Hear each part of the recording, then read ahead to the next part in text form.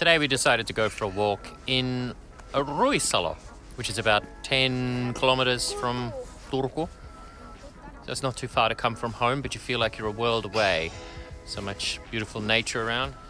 We're here in time for the sun to come up. It's about 11:30 a.m. I don't think the sun's quite come up yet, or you can see it a little bit on the horizon. I can't help but think about renovation things because you see here in the water the reed. It's the same stuff that I put on the walls at home before putting the clay on the wall. All right, we'll go for a little wander around here. There is talk of renovation continuing tomorrow. I'll go back to work then and back to renovation work as well. So I start two jobs again tomorrow. So I'm going to enjoy the most of today.